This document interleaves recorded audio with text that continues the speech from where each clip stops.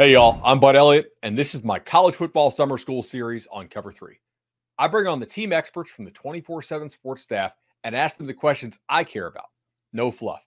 Which players will be toughest to replace? What position groups are sneakily better or worse than I realize?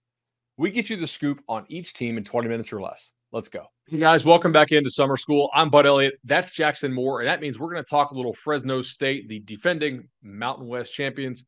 You guys need to go to barkboard.com, check it out. Jackson, welcome back to the show, man. Uh, thank you very much for having me. I appreciate it. No doubt. So 10 and 4 last year, Mountain West champs, a really good G5 level team, especially when, when Jake Haener uh, was in the lineup. He missed a couple games due to injury. Uh, we'll we'll jump right into this. Obviously, Jeff Tedford uh, knows how to coach football.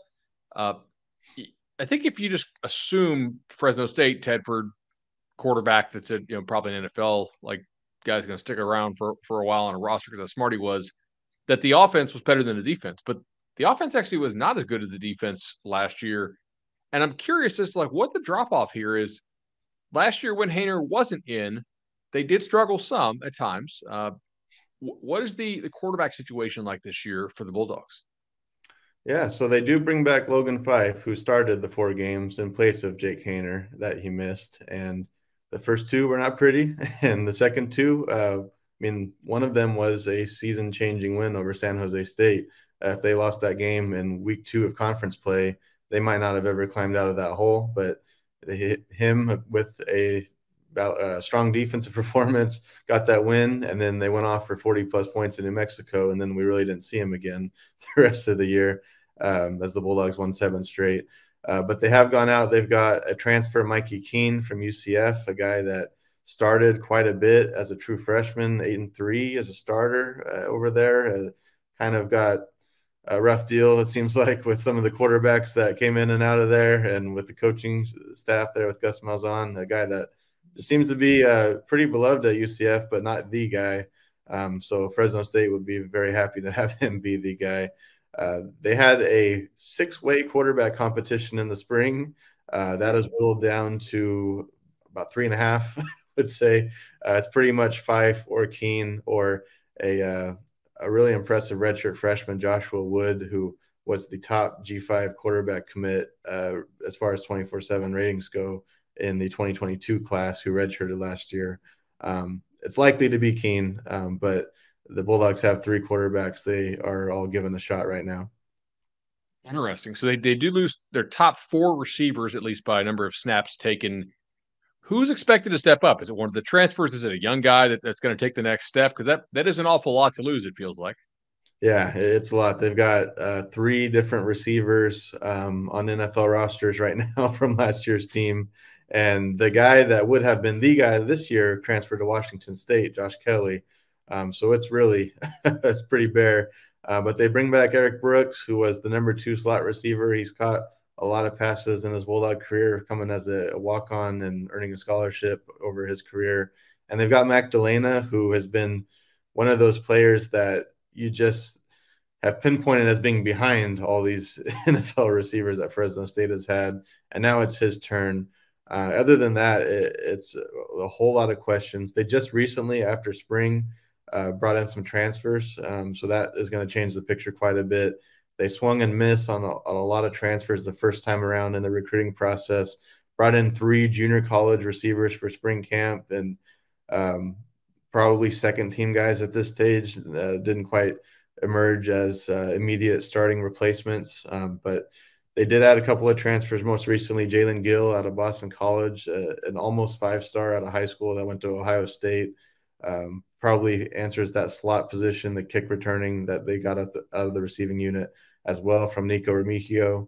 And they added uh, Mikel Barkley as well, a guy that was at TCU for a few years, had a decent season at Toledo. Um, the one name that comes back on the roster that has not played that could be a factor is Josiah Freeman, six foot three, uh, rangy, was a junior college addition late and redshirted. Uh, Jake Haener himself pointed him out as the next guy in that room. So uh, there's a lot of uh, expectations on him, as well as Jalen Moss, who was their top recruited freshman last year overall. Uh, he redshirted and might potentially, pr- probably Moss or, or, Freeman will be starting on the outside based off what we saw in the spring. So um, not quite the talent they had last year, but it could still end up being a solid room. So the offensive line uh, returns almost entirely intact. You, you, you lose Bula Schmidt, right, uh, who was a, a, pretty good center. Dontae Bull, like I thought he was going to be good, but he didn't really play because of injury, uh, as far as I, I can tell. It, is there a reason to believe this offensive line could be better?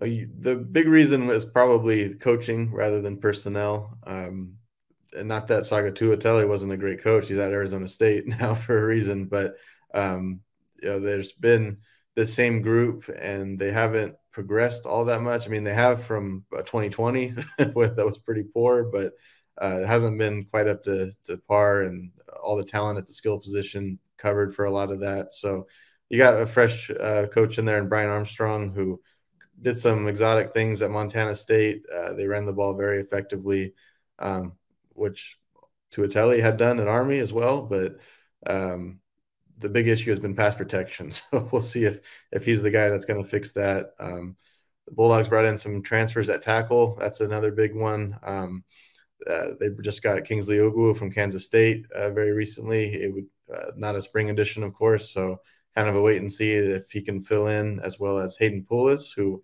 was an All American junior college tackle who tore his ACL before last year and saw his recruiting take a dump. He's a local kid from Hanford, Fresno area. So uh, if one of those two guys can fill in at left tackle, um, their previous left tackle, Jacob Spomer, is maybe replacing Bula Schmidt at center. So personnel wise, it, it could be better, um, marginally probably, but uh, you hope the coaching uh, can kick it up a notch. So last year, this defense, as we mentioned, was actually a little bit better than the offense. Now they lose David Perales, who I thought was just he was like a 24 year old dude just wrecking them out in the Mountain West, and, and most teams, most teams really couldn't couldn't handle him. They also lose transfers to Colorado and Northwestern, but those guys up front really didn't play very much. So I'm kind of curious as to your assessment of this defensive front now with those three guys gone. Like, do the Colorado and Northwestern guys actually matter? Is Perales the only thing we need to worry about here? Yeah, Matt Lawson going to Northwestern. He was a third teamer in the spring uh, preview, they call it there, and uh, pretty much seemed like he was out of the rotation, and uh, we're kind of surprised that he's at a Power Five school based off of that. But uh, he had a, you know, he was a steady bulldog for five years before that, so not surprised someone's giving him a shot like that. Um, Leonard Payne was a wrecking ball in 2021 and seemed to kind of butt heads with the coaching staff or you know for whatever reason he didn't play a whole lot in 2022 so um, colorado talent pac 12 talent but as far as fresno state's defense last year uh, was kind of on the outside looking in so um, it is interesting though because the guy next to Perales who kind of broke out and um, became or maybe the anchor this season is devo bridges who was a 250 pound defensive tackle and uh, now is probably going to be back at edge. Um, so they've got uh, some spots to fill there. All right, Jackson. So they do lose five of their top seven in the secondary, uh, including a guy who I think got hurt in the spring. You get transfers to Oregon, SMU. Is this the potential trouble spot for this defense? You would think, based off of uh, that description, you know, I would say at cornerback, um, Bralyn Lux started the season, got hurt, and then the spring got dismissed from the team. He's at Texas Tech, uh, just committed recently. Um, Kale Sanders going to SMU. He was starting out the year more of a starter, kind of got uh, unseated by the end of the season. Um, so at cornerback, they bring back Cam Lockridge, uh, who was uh, just a standout starter all season long, transferred in from Hawaii. And then when Lux got hurt, Carlton Johnson stepped in and he was terrific as well. So that one-two punch of Lockridge and Johnson was really the key uh, for those last three games, where the defense seemed to really hit a different level.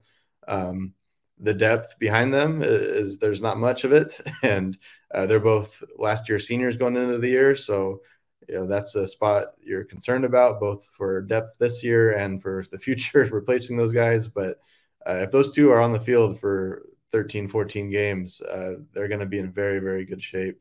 And then at safety, um, you know, they lose Evan Williams to Oregon. That was a big blow. They thought maybe he would go pro. They never thought he would transfer. Um, so that was tough. Um, they did bring back, um, uh, or they did bring in a pretty worthy replacement. Uh, Dean Clark out of Kent State was a hundred plus tackler a couple of years ago. Got hurt last year, kind of fell off the radar a bit, and they were able to to bring him in. A very similar player to Evan Williams from what we saw in the spring. He's even wearing the same jersey number. So a, lot of people have remarked that it feels like the, the same guy is back there for the most part.